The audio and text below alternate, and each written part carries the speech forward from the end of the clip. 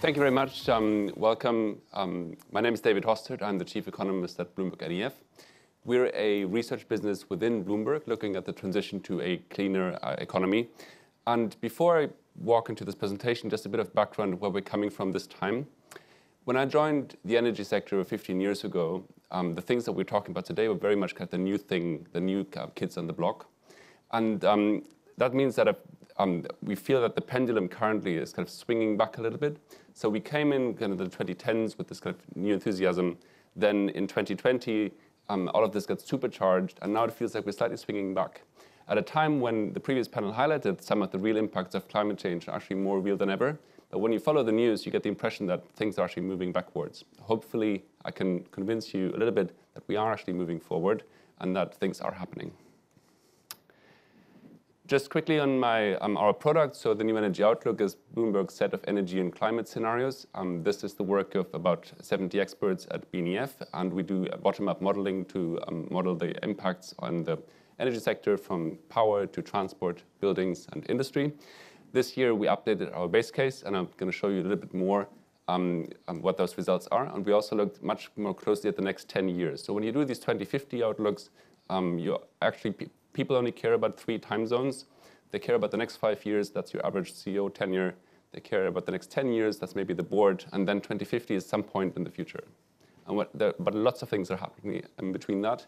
And we wanted to look um, especially at the next 10 years. The new energy outlook um, mirrors the setup of BNEF as a business. So each of these bubbles is a team at BNEF, um, ranging from the clean power side to transport, industry and buildings, most recently agriculture, also the commodities, and my role as the chief economist when we do these scenarios is to get everybody together and then hopefully leave them equally unhappy. And then I will have done my job well. We have um, two scenarios. So the um, economic transition scenarios are our base case. This is a scenario that's consistent with 2.6 degree temperature warning. And we are taking an economics-led approach. So this is a techno-economic view of the world where we look at the current policy, we look at the policy that is firm and legislated, but then we make no further assumptions about policy and we look at technology cost. What are the least cost solutions for us to meet demand, how we move um, around, how we fly, how we consume energy, and then um, leveraging BNEF's proprietary data on, um, on cost pathways and our modeling capabilities and a kind of a bottom-up view of the system. We also have a net zero scenario, which is consistent with 1.75 degree. We didn't build a 1.5 degree scenario because we couldn't. And I can tell you now that our next scenario that we're going to publish next year is probably not going to be 1.75, but slightly higher. This is not to say that there's no solution for 1.5, but certainly when we look at the technologies that we have today and kind of don't introduce magical thinking, these are the pathways that we think are credible.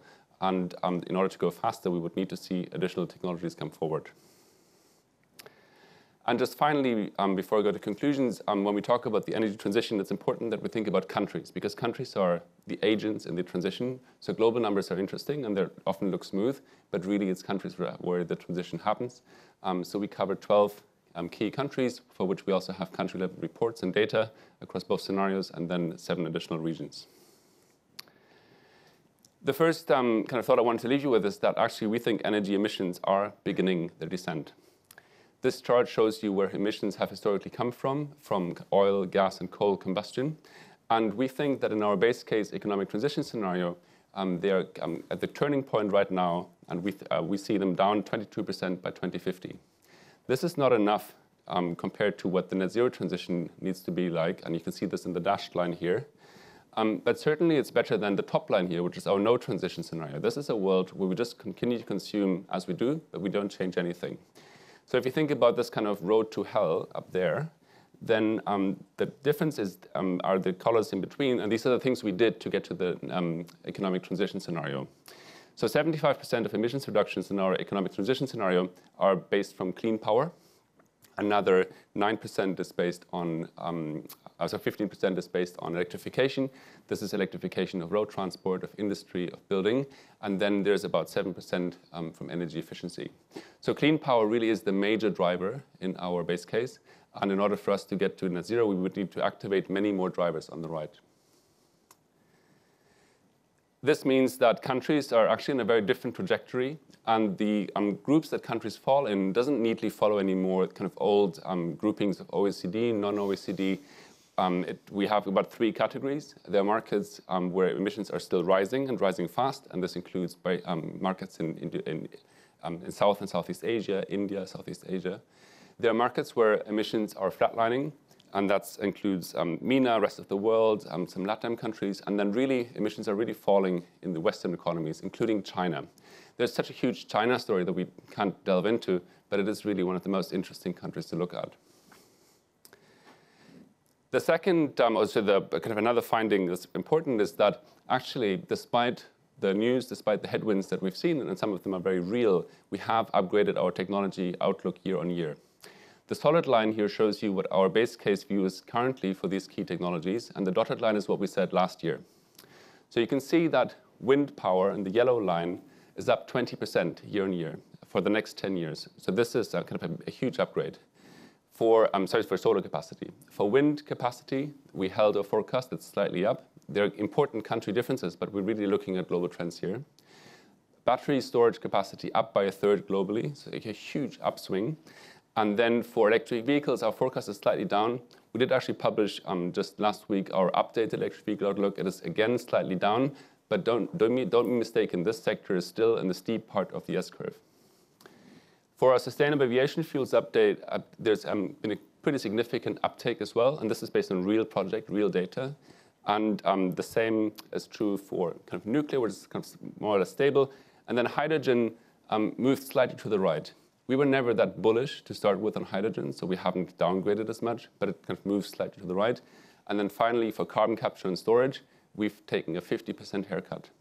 And this is um, because we now look very deeply at the project pipeline and looking at which projects we think are feasible, and then um, a few of them drop out. All this has implications for commodities. In our outlook, coal demand is in structural decline, as is oil demand, and gas is the swing factor. So coal demand is um, down by quite a bit, driven by drops in the power sector. We see oil demand cresting around um, 2029, 2030, and then falling. And this is really driven by, driven by demand destruction from road you can see that oil demand still rises in chemicals. Um, there's um, kind of other dynamics here, but um, the big swing factor is road transport. And then for gas, it can really go either way. If we're entering this net zero scenario, then gas demand goes down. And then if we go in, in, in, our base state, we still see this glide path for gas based on very cheap costs in the US as well. Um, so the big factors are here uh, US demand, it's in the power sector, and some of the chemicals. The biggest request we got this year um, to add was data centers, so I thought I should leave you with some, some of our analysis on this. Um, data centers were held around as this major driver of um, electri electricity demand, but really they're just one of several factors. And whatever you think is true about the world, whether this net zero scenario or the base case or whatever, um, electrification is one of the big drivers and electricity demand is growing. So we think electricity demand is up by a third in the next 10 years and then another 75% um, in the next 25 years. So huge drivers. And this isn't just one single source. You can see that actually electric vehicles are still the biggest driver of additional demand globally. There's some very interesting regional differences because, as you can imagine, data centers are clustered, right? So they really affect individual grids. If you look at PJM, if you look at Malaysia, there's some very distinct points. But um, overall, electric vehicles are really the main driver. But um, other things that you don't underestimate, shouldn't underestimate are um, you know, improvements in buildings, um, air conditioning, electrification. These are big, big drivers. So overall, um, EV demand in the power system goes from about 1% today to 11% by 2050. And data center demand goes from about 1.4% today on average to 4.5% by 2050. But look at the spread, right? There's a huge spread. And this is a challenge for decarbonization because what we find is that as data center demand kind of grows, initially in Europe and the US, but increasingly in Asia, Southeast Asia. And our hypothesis is really that data centers ultimately will have to get built where consumers are. You and I are going to kind of whip out our phone. We want to um, question AI, and we can't deal with latency. So latency means data centers long-term have to be where people are, and that means the power needs to come from these centers. So when we model this um, and we input data center demand where we think it's going to be in the 55 energy models that we have globally, um, then we find that data center demand is really dirty. And this ignores um, some of the announcement that data centers have made about the procuring they're doing, um, but it also shows the reality that if a data center with deep pockets um, kind of buys power, somebody else will not be able to buy that power. So unless these commitments are truly additional, the impact is going to be dirty. And we find that it triggers new gas builds, and we heard about delays in gas pipelines. I'm sorry, in, in gas procurement. Um, there's kind of a huge pileup. The cost for gas engines have really increased in the last six months only. Um, but it means that new gas engines get built, and that existing coal capacity that would otherwise have shut down is not shutting down. So we're delaying coal closures. And you know, the renewables by in the next 10 years will um, contribute significantly, but all the things being equal, unless you make it that way, data center demand is going to be dirty.